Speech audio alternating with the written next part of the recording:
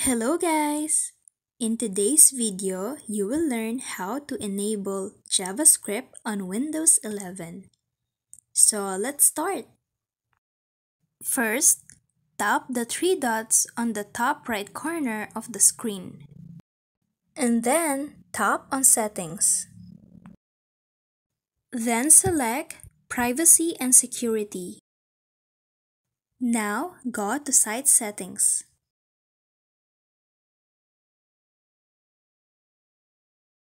Now scroll down and then you'll see JavaScript.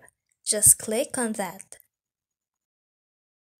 So now right here, you can see default behavior.